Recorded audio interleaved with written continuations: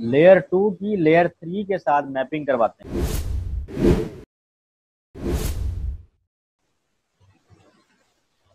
अगली टाइप आती है हमारे पास, इसको कहते हैं ग्रेटुटस आर बाद जगहों पे इसको ग्रेटुअस आर भी कहा जाता है कि सिंपल ये जो आईटी है, इसको हम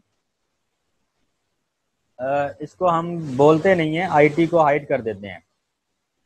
तो ग्रेटुअस आर भी कहा जाता है, इसको ग्रेटुटस आर भी कहते हैं, दोनों नाम चलते हैं। और शॉर्ट इसको कहते हैं GARP G A R P GARP ये बेसिकली क्या करती है? बहुत आसान है ये भी। कि इसने क्या करना है, जब आपकी डिवाइस को आईपी मिलता है, आपकी डिवाइस को आईपी मिलता है तो गार बैकएंड पे ये देख रहा होता है कि आपका अपनी आईपी के नेटवर्क के अंदर किसी और आईपी के साथ कॉन्फ्लिक्ट ना हो ठीक है A normal host will always send out a GARP request after the link goes up or the interface is enabled.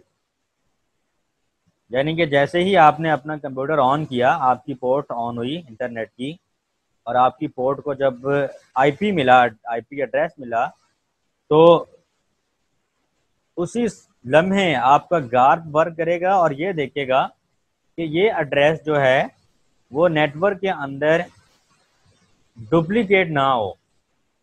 Duplicate IP address में भी assigned in a single network हो सकता है डुप्लीकेट आईपी आपको असाइन हुआ हो तो ये आपको एरर दे देगा आईपी कॉन्फ्लिक्ट का। आजकल डीएचसीपी इन्वायरमेंट है तो डुप्लीकेशन ऑफ़ आईपी के एरर्स बहुत कम आते हैं। विंडोज़ एक्सपी जब मैं यूज़ करता था, उस वक्त बहुत ज़्यादा डुप्लीकेशन आईपी के एरर आते थे और हमें एक येलो कलर का ना एक मैसेज पॉपअप होता था हमारा और लिखा हुआ था आईपी कॉन्फ्लिक्ट अगर किस, जो बच्चे पुराने हैं विंडोज़ एक्सपी के दौर के हैं, ये मैं बात बता रहा हूँ 2010-11 की। तब विंडो एक्सपी बहुत यूज़ होती थी और उस टाइम ये डुप्लीकेशन आईपी का बहुत एरर आता था। आजकल जब से विंडोज़ एट आई है विंडोज़ सेवन में भी मैंने कभी ये डुप्लीकेशन आईपी का एरर नहीं देखा। हाँ अगर आप खुद नेटवर्क बना रहे हैं और आप देखना चाहते हैं ये एरर तो एक ही नेटवर्क पे दो डिवाइसेस को सेम आईपी दे दें तो आपको एरर आ जाएगा। ठीक है? तो ये बेसिकली गार्ड यूज़ होता है जस्ट डिस्कवर करने के लिए आईपी एड्रेस का कॉन्फ्लिक्ट को। रिजॉल्व नहीं करेगा ये। ये आपको जस्ट बताएगा कि आपका आईपी एड्रेस का किसी दूसरे आईपी के साथ कॉन्फ्लिक्ट है। इसमें आप फिर करते क्या हैं? आप या तो डी को रिलीज़ करके रिन्यू करवाते हैं, या फिर आप अपना आईपी चेंज कर लेते हैं। अगर मैनुअल आईपी दिया हुआ है तो चेंज कर लें। अगर ऑटोमेटिक दिया हुआ है तो एक दफ़ा डीएचसीपी की सर्विस बंद करें, दोबारा ऑन करें, ताकि वो दोबारा एक कोई नया आईपी गेट कर सके। तब ये मसला हल हो जाता है।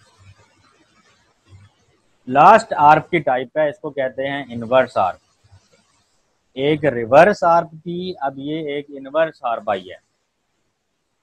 तो इनवर्स आर्प पढ़ने से पहले मैं आपको रिवर्स आर्प बता दूँ कि वो क्या थी।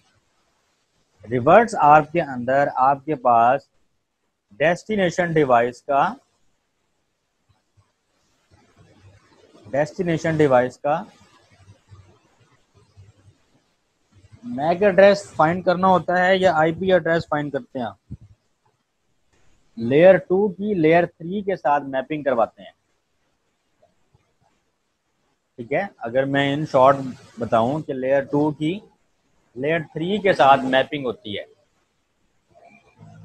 रिवर्स आर्प के अंदर। जो सिंपल आर्प होती है, उसके अंदर क्या होती है? लेयर थ्री की लेयर टू के साथ मैपिंग होती है। बिकॉज़ आपके पास आईपी होता है और आप मैग रिजॉल्व करवाते हैं।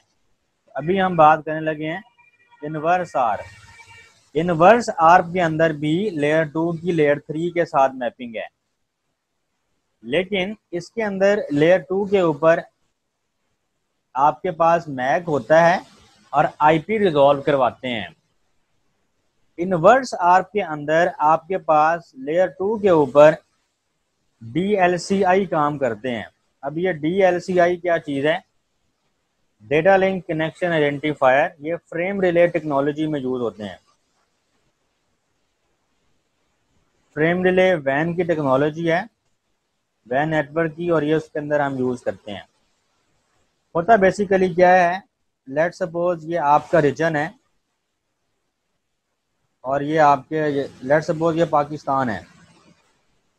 ठीक है, अब पाकिस्तान से जैसे ही ट्रैफ़िक ने बाहर निकलना है there are number of option China वाली साइड पे जाना चाह रहे हैं, इंडिया वाली साइड पे आपकी रिक्वेस्ट जा रही है, या अफ़गानिस्तान वाली साइड पे जा रही है तो इट डिपेंड तो वैन बेसिकली वैन की टेक्नोलॉजी है फ्रेम रिले इसके ऊपर डी काम करते हैं, और ये बेसिकली क्या करते हैं कि आपने अगर चाइना वाली साइड पे जाना है तो इतने ज़्यादा मैक एड्रेसेस भेजने की या वहाँ से लाने की ज़रूरत नहीं है। आप हर साइड का एक नंबर लिखते हैं। ये बेसिकली आपका ये जो इस साइड का वैन लिंक है, हर लिंक जो कि डिफरेंट कंट्रीज़ की तरफ़ जा रहा है, उसके ऊपर डिफरेंट डीएलसीआई असाइन हो जाते हैं। मीन हो सकता है D L C I number one इस साइड का हो D L C I number ten इस साइड का हो D L C I number eleven इस साइड का हो। तो अब जब आपके पास D L C I number हो और आपने उस होस्ट का आईपी रिजॉल्व करवाना हो अगेन लेयर टू से लेयर थ्री की मैपिंग है तो फिर आप इनवर्स आर्ट को यूज़ करते हैं। ठीक है तो ये बेसिकली दोनों के अंदर ये फ़र्क है। तो याद रख लेना है रिवर्स आर्प और इनवर्स आर्प सिमिलैरिटी क्या है कि layer two to layer three की मैपिंग है, लेकिन फ़र्क ये है कि इसके अंदर मैक एड्रेस होता है आईपी रिजॉल्व करवाते हैं। इस केस में आपके पास डीएलसीआई होता है और आप आईपी रिजॉल्व करवाते हैं।